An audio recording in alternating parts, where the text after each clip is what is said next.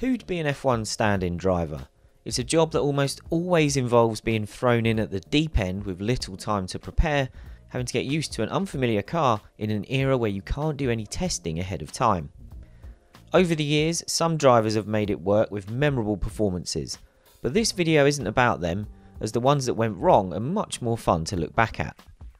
And let's all be thankful Nico Hulkenberg got a second shot with Racing Point at Silverstone in 2020, which prevented his non start in the British Grand Prix getting him onto this list.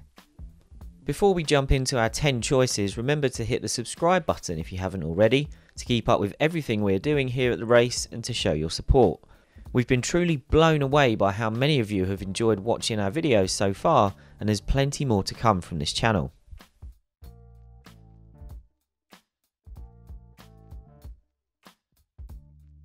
Look, we know it wasn't Button's fault that things went badly when he stood in at McLaren for the 2017 Monaco Grand Prix. But we've chosen to include some drivers whose appearances didn't go well, even if they drove well. It gives us more options to choose from and allows us to include some entries beyond the obvious ones. Unfortunately for Button, through factors outside of his control, he was subjected to a miserable race on the streets of Monte Carlo when he returned so Fernando Alonso could race in the Indy 500. Button made it into Q3 despite having never driven the faster breed of 2017 cars before arriving in Monaco, but he was always doomed to take a grid penalty for engine component changes ahead of the event. He started from the pits and spent the entire race running in last until he eventually made a frustrated attempt to pass the Sauber of Pascal Wehrlein and tip the German onto his side against a barrier. The qualifying performance showed what Button was capable of, but McLaren's doomed Honda engine partnership prevented him making good on that in the race.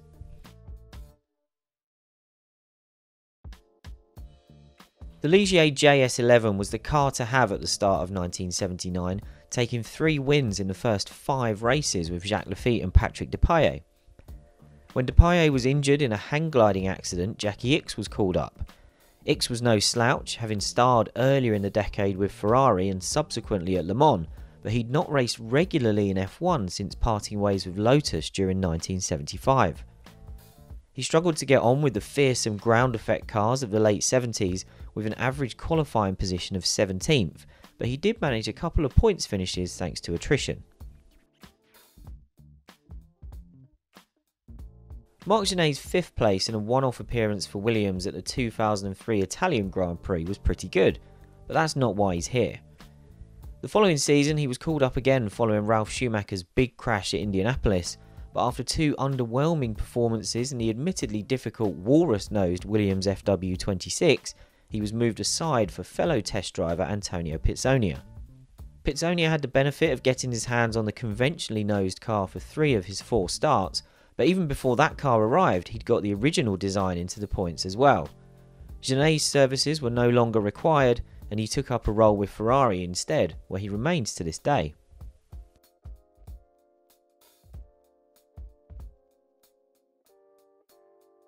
Andre Lotterer is best known for his performances in sports cars with Audi, Formula E where he currently races, and the many years he spent racing in Japan. In 2014, he made an unexpected one-off appearance in F1 with Caterham. He treated it as a chance to tick the box of driving in a Grand Prix and managed to outqualify teammate Marcus Ericsson. But in Lotterer's own words, he didn't even get to work up a sweat before his car suffered a loss of power after just a single lap. Lotterer turned down subsequent offers from Caterham to return, satisfied that he'd scratched his F1 itch. When McLaren's attempts to get Alain Prost for 1994 failed, it signed Martin Brundle. But throughout the selection process and even once the season was up and running, engine supplier Peugeot put pressure on the team to give the seat to Frenchman Philippe Alliot. Brundle and Alliot even went head to head in a test at Paul Ricard, where Alliot appeared to have gone faster until it emerged that he'd mysteriously managed to go through a temporary chicane without lifting off the throttle or applying any steering lock. Alliot got a chance to race against Brundle when Mika Hakkinen was banned for the Hungarian Grand Prix. Brundle started 6th and ran 3rd until the final lap, while Alliot qualified nearly a second slower and started 14th. After that, there wasn't quite so much pressure from Peugeot to give him another go. Jacques Villeneuve walked away from BAR a race early at the end of 2003, then sat on the sidelines during 2004 until he got a surprise call up from Renault. Villeneuve was drafted in when Renault split with Jarno Trulli with three races to go. Flavio Briatore had tried to sign Villeneuve for Benetton in the past, so hopes were high, but he failed to score a point. He managed two 10th places and one 11th, while Fernando Alonso bagged two fourths and a fifth in the other car. Villeneuve said he was happy with his performances and landed a drive with Sauber for 2005 in the process.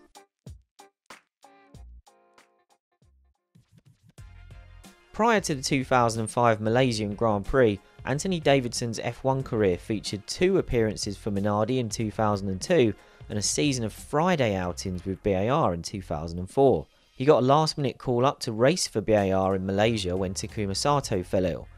Davidson wasn't getting any Friday running in 2005, so he ended up being thrown in at the deep end on Saturday morning. He qualified 15th, six places behind teammate Jenson Button, but his race was short lived. Both BARs retired with embarrassing engine failures after just two laps, and this was after the team had deliberately retired from the Australian Grand Prix to be allowed to fit fresh engines for the heat of Malaysia. And we thought Honda saved all their hilarious failures for when they came back with McLaren. Talking of which, Kevin Magnussen lost his McLaren drive after one season to make way for Fernando Alonso's return in 2015. Then Alonso suffered a bizarre accident in testing and had to miss the season opener due to a concussion. Magnussen was called up from reserve duties to race in the Australian Grand Prix, but all that meant was he got to experience just how bad the reborn McLaren Honda partnership was. He completed 33 laps all weekend due to a lack of reliability and a crash in FP2, and to make sure his trip to Australia was utterly pointless, his car broke down before the start of the race.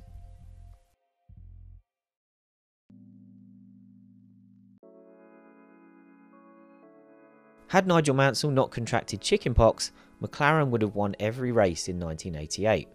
And had Martin Brundle been available for a second appearance standing in at Monza, McLaren would have won every race in 1988. Instead, Williams called up sports car racer and its occasional test driver Jean-Louis Schlesser for a one-off drive in the Italian Grand Prix. By the time of his call up, Schlesser hadn't driven an F1 car in over a year. He qualified 22nd, 2 seconds adrift of teammate Riccardo Patrese, and was 11th out of the 13 cars still running when race leader Ayrton Senna came up to lap him for the second time with two laps to go.